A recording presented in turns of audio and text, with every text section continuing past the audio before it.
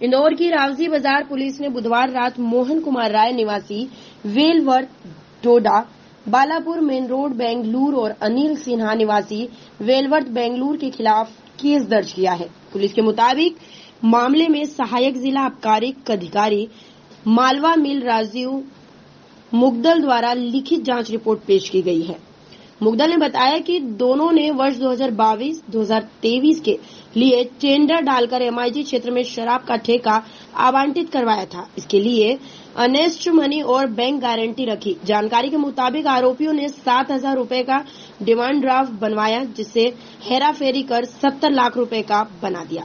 इसी तरह सैतालीस हज़ार की बैंक गारंटी को चार दशमलव सात ज़ीरो करोड़ की बनाकर जमा करवा दी।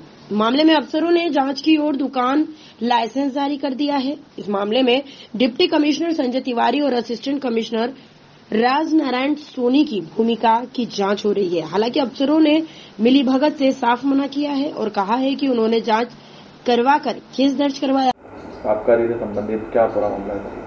ये थाना रावजी बाज़ार में जो है एक्साइज डिपार्टमेंट के रिपोर्ट पे एक प्रकरण पंजीबद्ध किया गया है। उसमें जो संबंधित ठेकेदार हैं उन लोगों ने जो डीडी दिया था वो आ, कम राशि का था लेकिन उसमें जो है वो कुछ काट छाँट करके उसको उन्होंने ज़्यादा राशि का बना दिया था।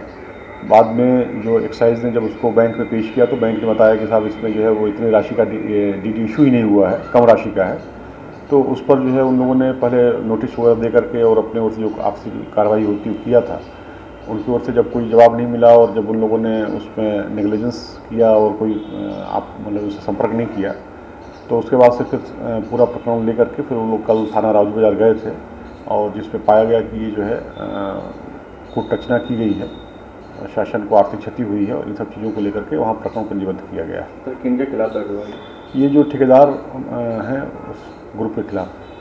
सर कितने का क्या मामला है? घोटाले का यार वो अकाउंट अब देखना पड़ेगा मुझे। फरियादी कौन बने इसमें?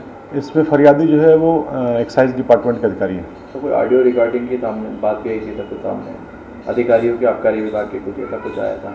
नहीं अभी आज मैंने पूरी अभी रात में ही कायमी हुई है तो पूरा प्रकरण विवेचक के साथ और एक्साइज के अधिकारियों के साथ मैंने आज बुलाया हुआ है और मैं स्वयं उससे समीक्षा करूँगा और जो भी उसमें जिसकी भी गलती होगी उसके खिलाफ कार्रवाई की जाएगी।